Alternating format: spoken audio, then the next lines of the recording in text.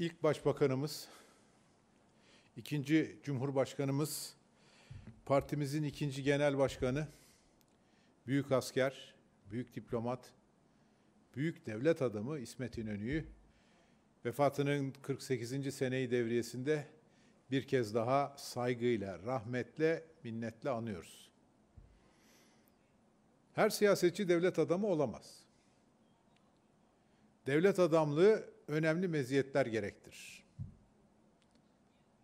Sıradan siyasetçi sadakate bakar, devlet adamı liyakate bakar. Sıradan siyasetçi bağırır, devlet adamı dinler. Sıradan siyasetçi gömlek değiştirir gibi görüş değiştirir, devlet adamının sağlam ilkeleri vardır. Sıradan siyasetçi ötekileştirir, devlet adamı birleştirir. Sıradan siyasetçi bol bol aldanır ve aldatır, devlet adamı kolay kolay aldanma, aldanmaz, milletini de asla aldatmaz. Sıradan siyasetçi kendi yanmamak için ülkesini yakar. Devlet adamı ülkeyi yakmamak için kendisi yanar.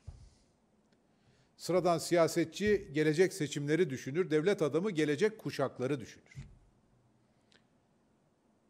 Sıradan siyasetçinin pusulası menfaattir. Devlet adamının pusulası millet ve adalettir. Kendi hatalarının, bilgisizliğinin, cehaletinin, inadının bedelini millete ödenen, ödeten, sonra da hiç sıkılmadan Allah beni affetsin diyen bir siyasi 20 yıldır ülkemizi yönetiyor. Bu siyasi bezirgan Emevi Camii'nde namaz kılacağım dedi. Suriye'de emperyalist güçlerin taşeronluğuna soyundu. Bırak Emevi Camii'nde namaz kılmayı, Suriye'deki vatan toprağını bıraktı. Orada yatan atamız Süleyman Şah'ın tabutunu sırtlayıp kaçtı. Ardından 5 milyon Suriyeli ülkemize yerleşti. Bir o kadarına bir o kadarına da Suriye'de bakmak zorunda kaldık. Bu milletin 70 milyar doları Suriye bataklığında heba oldu. Sınırlarımızın güvenliği için yüzlerce şehit verdik. Bunların sorumlusu Erdoğan, şehit tabutlarının üzerine elini kolunu dayayarak nutuklar attı. Bu cehalet, bu kibir sadece dış politikada millete fatura ödetmedi. Erdoğan ekonomide de faiz sebebi enflasyon sonuç dedi. Damadıyla bir oldu. Merkez Bankası'nın kasasındaki rezervleri yurttaşlarda sahte bir istikrar algısı yaratmak, bunun sayesinde de Cumhurbaşkanlığı seçimini ve yerel seçimleri kazanabilmek için bankanın arka kapısından gizli gizli sattı. Damat milletin 128 milyar dolarını birilerine peşkeş çekerken dolar 10 lira olacak ya, 15 lira olacak ya çok beklersiniz diyordu. Maalesef çok beklemedik. Dolar son derece kısa bir sürede 10 lirada oldu, 15 lirada oldu, hatta 18 lirayı da gördü. Sonra da ülkenin 128 milyar dolarını damadıyla beraber ucuz ucuz peşkeş çeken, devleti büyük bir zarara sokan kayınpeder geçen hafta çıktı.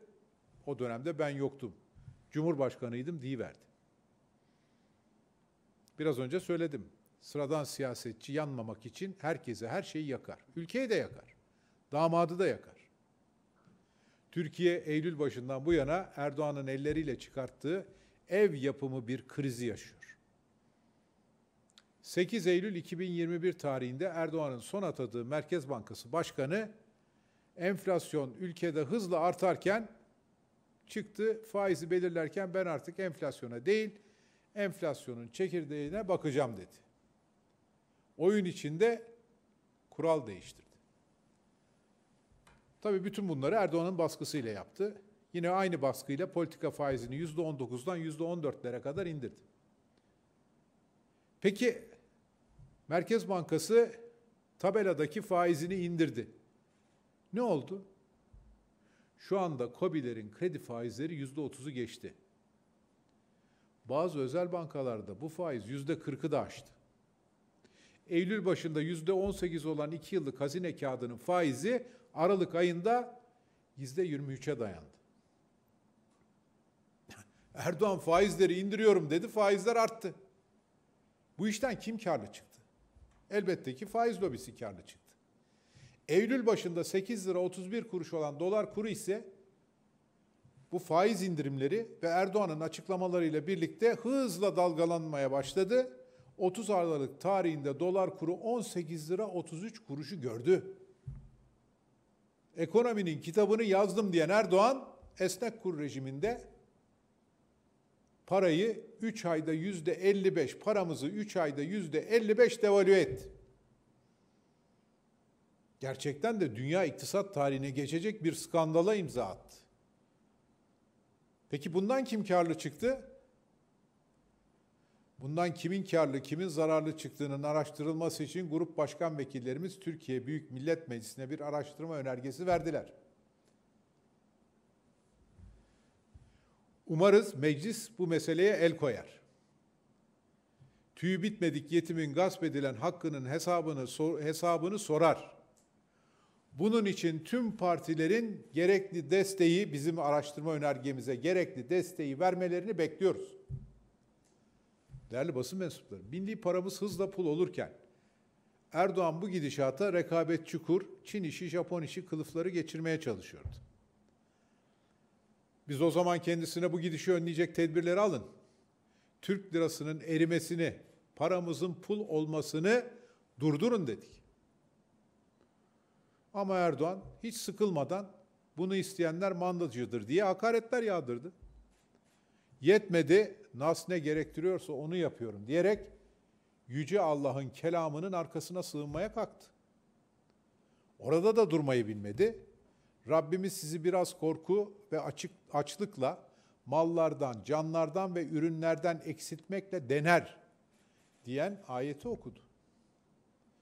Kendisinin sebep olduğu yoksulluğun faturasını Yüce Allah'a yıkmaya kalktı. Yaptıklarıyla kaybettiği savaşı durdurmak için Kur'an-ı Kerim'in sayfalarını yırtarak mızraklara geçirmekten çekinmeyen Muaviye'yi bile doğrusu çırak çıkarttı. Erdoğan her konuştuğunda döviz kurları yeni rekorlar kırdı. Her konuştuğunda kurun dalga boyu arttı. Ekonomide istikrar denen bir şey kalmadı. Bugün artık anlaşılıyor ki Erdoğan bunları öyle plansız programsız yapmamış. Resmen planlı, programlı millete tuzak kurmuş. Meğerse her konuşmasıyla millete gel gel yapıyormuş. Hafta başında cehlin bu kadarı ancak planlı programlı olur demiştim. Özel bir gayret gerektirdiğini de söylemiştim. Çünkü son üç ayda yaşadıklarımızın akılla, izanla, bilim ve bilgiyle izahı yok. Hiçbir aklı başında yönetici bilimle kavga etmez. Faiz sebep enflasyon sonuç gibi bir zırvanın peşine takarak 84 milyon nüfusa 800 milyar dolar gelire sahip bir ekonomiyi alt üst etmeye kalkmaz. Milletin alın terini ve emeğini heba etmeye cüret edemez. Yaptıklarıyla başka ülkelerin alay konusu olmaz. Dostum dediği Putin'in diline düşmez. Putin'e yükselen bir enflasyonda faizleri indirseydik Türkiye'nin durumuna düşerdik dedirtmez. Değerli basın mensupları. Milletimiz geçmiş geçtiğimiz haftadan bu yana özenle hazırlanmış bir kumpasın kurbanı olmuştur. Erdoğan 17 Aralık'ta Merkez Bankası'na politika faizini son defa indirtti. Dolar kuru hemen bir gün sonra Cuma günü 16 lirayı aştı. Aynı Erdoğan 19 Aralık'ta bir vakfın ödül töreninde çıktı konuştu.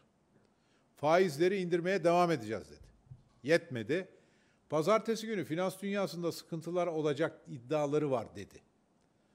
Sureti Hak'tan görünür gibi yapıp milleti iyice panikletti, korkuttu.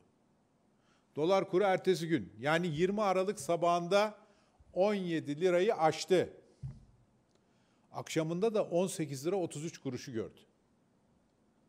O akşam yapılan kabine toplantısından sonra Erdoğan çıktı.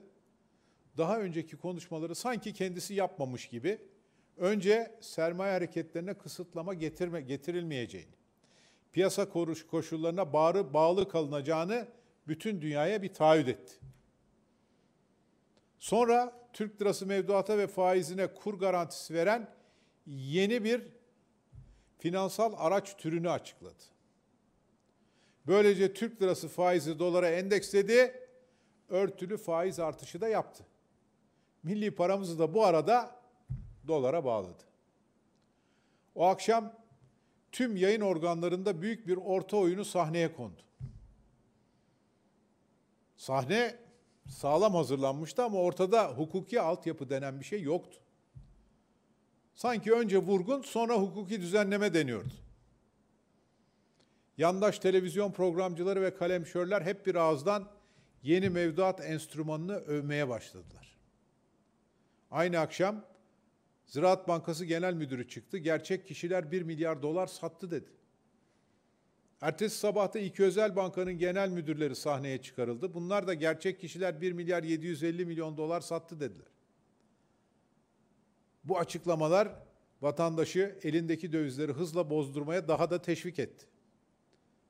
Ama BDDK'nın son açıklanan rakamları bu genel müdürlerin söylediklerini doğrulamıyor. BDDK rakamlarına göre 20 Aralık tarihinde vatandaşın sattığı döviz sadece 340 milyon dolar döviz tevdiat hesabı. 21 Aralık tarihinde vatandaş döviz satmadığı gibi 218 milyon dolar da döviz almış.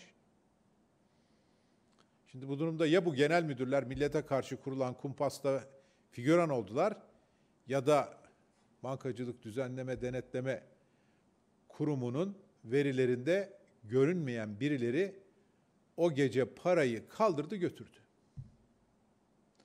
Ama sonuçta o akşam 18 lira 33 kuruş olan dolar kuru ertesi sabah 11 lira 16 kuruşa kadar düştü. Birincisi bu operasyon içeriden haber alma imkanı olanlara olağanüstü bir kazanç imkanı verdi.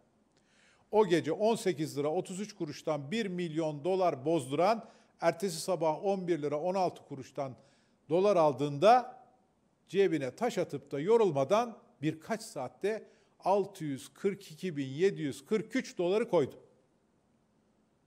Bu dolar cinsinden yüzde 64 kazanç demektir ve birkaç saat içinde. Yani birkaç saat içinde böylesi bir kazanç açıkçası Sülün Osman'a dahi şapka çıkartır. Burada sorulması gereken kritik soru şudur. Erdoğan'ın açıkladığı dövize endeksli Türk lirası mevduatın millet tarafından daha ne olduğu anlaşılmamışken, hukuki altyapısı dahi belli değilken, Türkiye'de de üstüne üstlük piyasalar kapalıyken döviz kurlarında görülen bu ani geri çekilişin sebebi nedir? O gece yarısı bankaların döviz alış ve satış kotasyonları son derece genişken gerçek kişilerin bu büyüklükte döviz satması hayatın olağan akışına aykırıdır.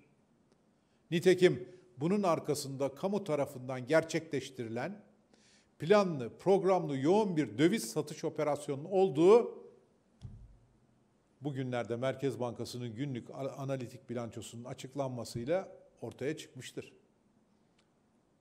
Tıpkı 128 milyar doların Merkez Bankası'nın arka kapısından buharlaştırılmasında olduğu gibi. Bu defada yine Merkez Bankası'nın arka kapısından milyarlarca dolar döviz satıldığı anlaşılmıştır. Bilançoya bakıldığında 10 Aralık 21 Aralık tarihleri arasında Merkez Bankası'nın net döviz pozisyonunun 14 milyar dolar eridiği görülmektedir. Bunun yarısı Merkez Bankası tarafından kamuoyuna duyurularak yapılan 3 müdahalede satılmıştır. Kalan yarısı ise neden satılmıştır? Yani 20-21 Aralık tarihleri arasında bu dövizler neden satılmıştır?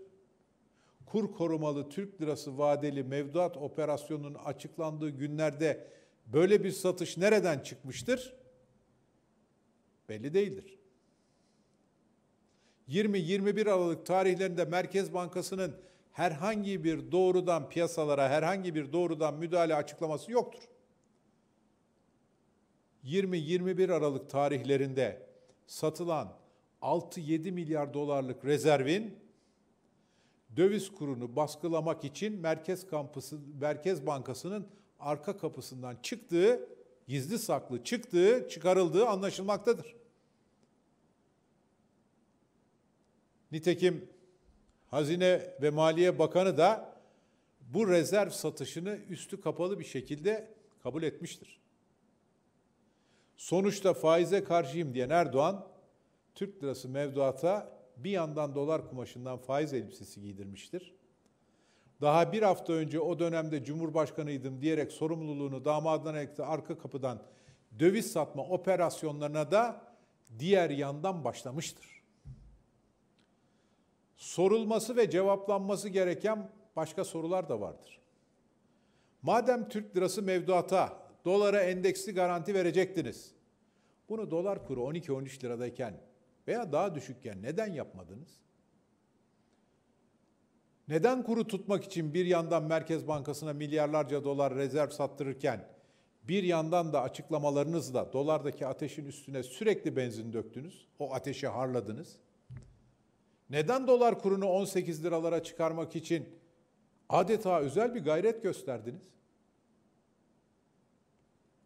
Buradan açıkça soruyorum. Bu muazzam manipülasyonu hangi gerekçeyle yaptınız?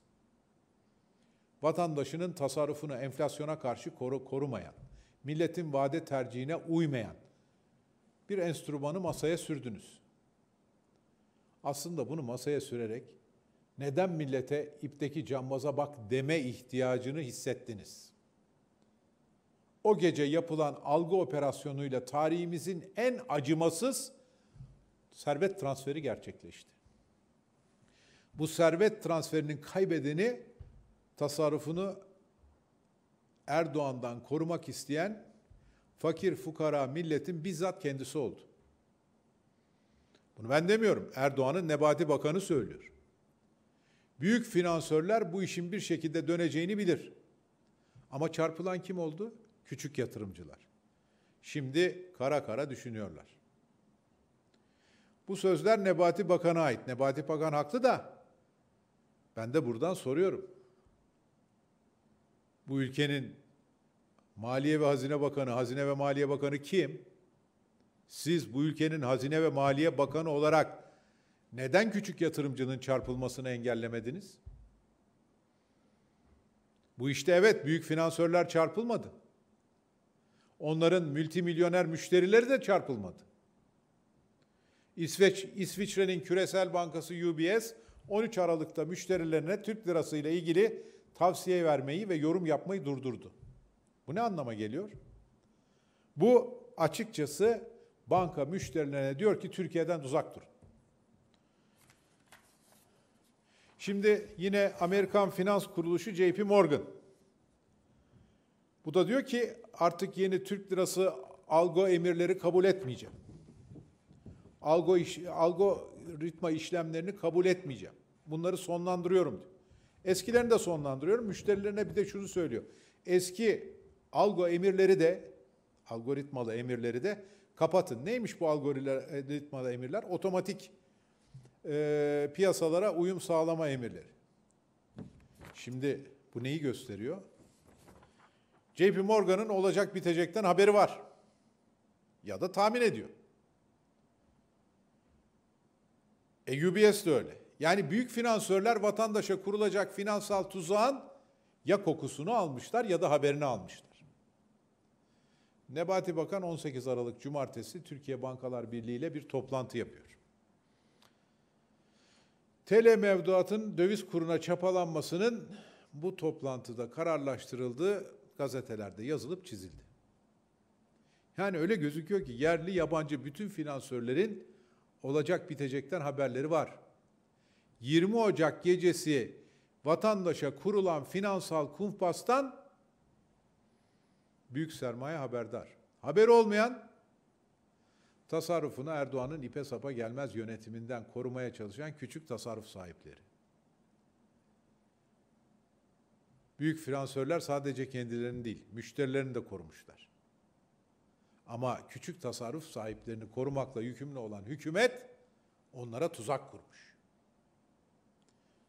Yıllar boyu biriktirdikleri 3-5 kuruşu, el emeğini, göz nurunu yüksek kurdan dolara yatıran bu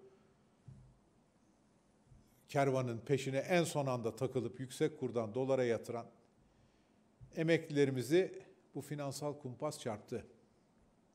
Emeğinin ve alın terinin karşılığını yüksek kurdan dolara yatıran emekçilerimizi bu finansal tuzak çarptı. Yüksek kura bağlı olarak artan gübre fiyatlarından tabra, tarlasına gübre atan çiftçiyi bu finansal kumpas çarptı. Üretim için yüksek kurdan ham madde ithal eden sanayicimizi bu finansal kumpas çarptı. Ürünü yüksek kurdan alıp rafa koyan esnafımızı bu finansal kumpas çarptı. Bu finansal kumpasla milletin döviz tevdiat hesaplarından kesilen munzam karşılıklardan oluşan Merkez Bankası'ndaki emanet dövizler millete karşı kullanıldı. Yani hükümet milletin Merkez Bankası'ndaki emanet parasıyla milleti çarptı. Ondan sonra da Erdoğan dün çıkıyor, Merkez Bankası döviz piyasasına beş kez müdahale etti. Bu kanunun da var ama muhalefet bunu eleştiriyor diyor. Sayın Erdoğan bizim eleştirdiğimiz bu değil. Biz Merkez Bankası'nın kasasında kendisine ait tek bir sent yokken dibi delik kovaya su döker gibi gereksiz yere döviz satmasını eleştiriyoruz. Biz Merkez Bankası'nın açıkça yaptığı müdahaleleri değil yasaya uygun olarak. Ama sizin yapılan her müdahaleden sonra çıkıp yaptığınız açıklamalarla bu müdahalelerin etkisini sıfırlamanızı eleştiriyoruz. Biz Merkez Bankası'nın arka kapısından gizli saklı döviz satarak kura müdahale etmenizi eleştiriyoruz. Biz kamu bankalarının Merkez Bankası'nın arkasında arka kapısından aldıkları bu dövizlerle yurt içi piyasalar kapandıktan sonra gece yarısı sığ dış piyasalarda işlem yaparak kuru düşürmeye çalışmalarını eleştiriyoruz. Çünkü kalıcı olmuyor. Biz ekonomi yöneticilerinin dışarıda piyasaların Noel tatili nedeniyle kapalı olmasını fırsat bilip dışarıdaki sığ piyasalarda cirit atmalarını eleştiriyoruz. Buralarda ortaya çıkan, bu şekilde ortaya çıkan dengenin kalıcı olmadığını, istikrarsızlığı daha da arttırdığını görüyoruz, biliyoruz. Biz Merkez Bankası'nın kasasında olmayan rezervlerin boş yere satılıp savulmasından rahatsızız. Yani şu yapılanlar ne Merkez Bankası'nın kanununda var ne de teamüllerde var. Bu 7 milyar dolar, son satılan 7 milyar dolar 20-21 Aralık'ta kime satıldı? Nasıl satıldı? Kaçtan satıldı? Kamu bankaları eliyle. Bunu öğrenmek bu milletin hakkı. Bir hukuk devletinde 20 Aralık gecesi ve 21 Aralık sabahında gerçekleşen bu döviz alım satım işlemleri çok ciddi soruşturma konusu olur. Bugün tarafsız bir cumhurbaşkanı iş başında olsaydı Devlet Denetleme Kurulu'nu bunun için çalıştırırdı. Başta içeriden öğrenenlerin ticareti burada söz konusu mu değil miydi bunu soruştururdu. Ama mevcut koşullarda bu iş Gazi Meclisimize düşüyor. Bir kere daha söylüyorum. Grup başkan vekillerimiz bununla ilgili araştırma önergesini verdiler. Türkiye Büyük Millet Meclisi bu mutlaka vaziyet etmelidir. Daha önce 128 milyar dolar nerede diye soruyorduk. Anlaşılan şimdi sorumuzu 128 artı 7 milyar dolar nerede diye değiştireceğiz. Değerli basın mensupları, Erdoğan sürekli konuşarak sebebi olduğu kur artışına şimdi köpük diyor.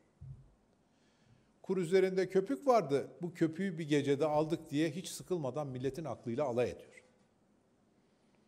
Erdoğan'ın bir gecede aldığı köpük ne döviz ne de faiz boronlarına aittir. Ortalığı köpürten kendisidir. Köpük dediği de milletin emeğidir. Alın teridir, göz nurudur. Bu işin adını doğru koyalım. Yapılan önce ortalığı köpürtmek, sonra köpüğü almak değil, milleti çarpmaktır. Ama millet de Erdoğan ve şürekasını mutlaka sandıkta çarpacaktır.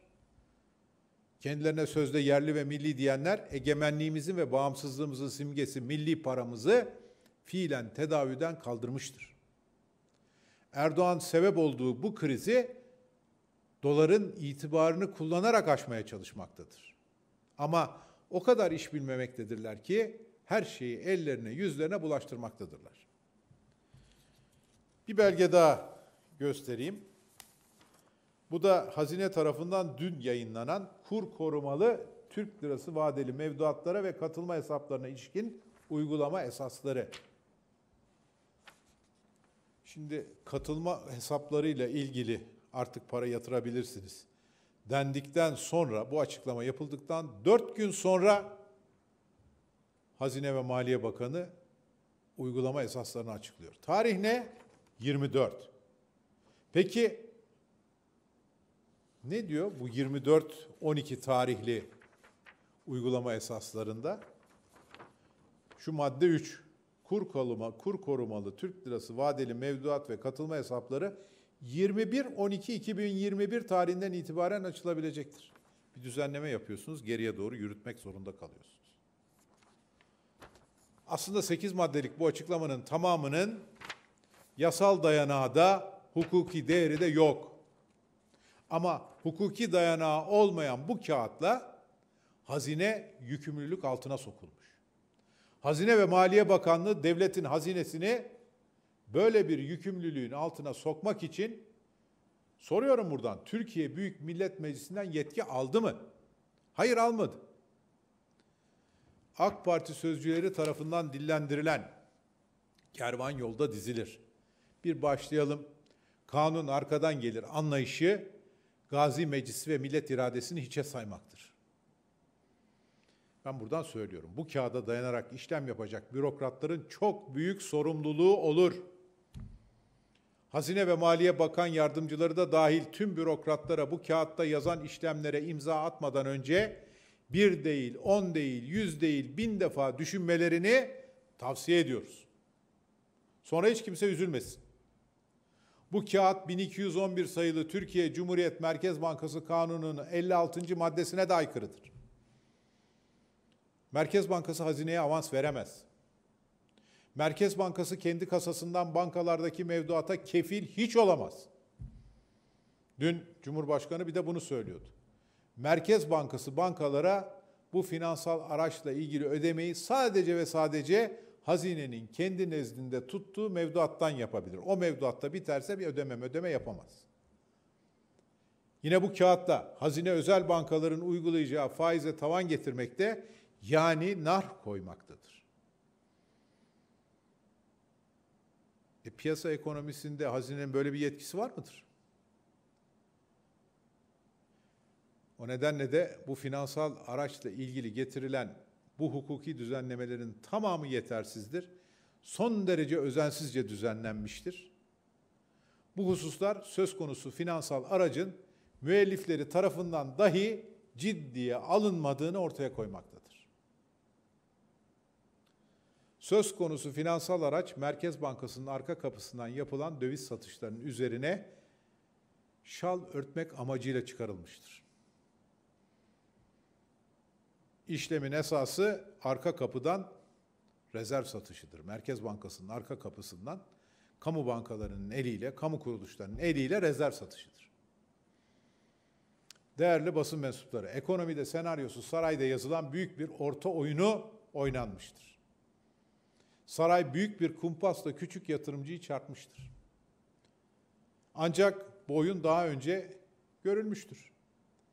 Milletin derdine derman olmadı istikrarı sağlamadığı, hayat pahalılığı ve işsizliği önleyemediği herkes tarafından bilinmektedir. Bu orta oyunun da maliyeti yine milletin üzerinde kalacaktır. Çok korkarız Ocak ayının 3'ünde Aralık ayı enflasyon rakamları açıklanınca enflasyon %30 bandının üzerine çıkacaktır. Yurt dışında Noel tatili bitip dışarıdaki piyasalar açılınca da döviz piyasalarındaki dalganın boyu ister istemez yükselecektir. İşsizlik, hayat pahalılığı daha da artacaktır. Bu hükümet sorunları çözmeye değil, milletin parasıyla zaman satın almaya çalışmaktadır. Pansuman tedbirleriyle bu zamanı satın alırım zannetmektedir. Hükümet metal yorgunudur. ülkede güveni bitirmiştir. Ekonominin ihtiyacı olan yapısal adımları atma takati de kalmamıştır. Erdoğan'ın tek yaptığı tehdit ve sopa siyasetidir. Tehdit ve sopa ekonomisi uygulamaktadır. Üreticileri tehdit etmektedir. Kendi yanlış politikaları nedeniyle artan etiketler için hızla indirin ha yoksa Hazine ve Maliye Bakanlığı gerekeni yapar diyerek abanın altından sopa göstermektedir. İyi de beyefendi siz niye kendi dediğinizi yapmıyorsunuz? Neden akaryakıttaki indirimin getirisini millete değil ÖTV'ye yansıtan düzenlemeyi çıkar, apar topar çıkarttınız? Dolar çıkarken artan pompa fiyatını, dolar düşerken milletin üstüne bırakmaya niyetlendiniz. Tabii şimdi tepki gelince de kısmen geri adım attınız. Herkesten önce siz hükümet olarak vatandaşa destek olsanıza, akaryakıt fiyatlarını döviz kurundaki düşüşe düşüş kadar indiriyorum desenize, millet dolardaki düşüşün etkisini mutfağında görmek için bekliyor. Bu etkiyi cebinde hissetmek istiyor. Ekonomi dediğiniz şey Nebati Bakan'ın gözleri değil ki ne gördüyse parlasın. Ne yazık ki kur şokunun yarattığı zehir bünyeye bir kez girdi. Bünyeden atılması da uzun bir zaman alacak. Devlet desteğini gerekli kılacak. Bu hükümet milletimizin hakkını, hukukunu koruyamamıştır. Millete kumpas kurmuştur. Milletin alın terini, emeğini, yılların birikimini bir gecede gasp etmiştir. Boşalan tencerenin dibini sıyırmıştır. Sonra bu sıyrığa da köpük diyerek milletle alay etmeye kalkmıştır. Milletimize buradan sesleniyoruz. Hıncını, öfkeni önüne gelecek ilk sandığa sakla. Bu kifayetsiz, beceriksiz, cahil hükümetin ülkeyi yönetme kabiliyeti artık kalmamıştır. Sandıktan kaçma imkanı da kalmamıştır. O sandık senin önüne yakın zamanda gelecektir. Sandık geldiğinde elini korkak alıştırma. Aşına göz dikenlere, cebine göz dikenlere, geleceğini çalanlara şöyle şiddetli, şeddeli bir tokadı yapıştır. Yapıştır ki bundan sonra millete kumpas kurmanın ne demek olduğunu herkes anlasın. Benim söyleyeceklerim bu kadar. Beni dinlediğiniz için teşekkür ediyorum. Şimdi varsa sorularınızı alabilirim. Efendim bize yönlendirilen bir soru oldu. Fox TV tarafından yönlendirildi soru. Soru şöyle. AK Parti Genel Başkanı Erdoğan dün Sayın Kılıçdaroğlu'na ilişkin ruh halini sağlıklı bulmuyorum. Dengesini, şirazesini kaybetti dedi. Siz bu sözleri nasıl değerlendiriyorsunuz? Benim hatırladığım kadarıyla genel başkanımız daha önce bu tanımı Erdoğan için yapmıştı. Anlaşılan Erdoğan bunu hazmedememiş. Dönüp dönüp ikide bir de tekrarlıyor. Ama aslında yaptığı iş kendini tarif etmek. Buradan söyleyeyim. Asıl ruh hali bozuk olanlar kendi milletine kumpas kuranlardır. Bir gecede milletin alın terini ve emeğini hiç edecek kadar gözünü karartalı, karartabilenlerdir. Teşekkür ediyorum.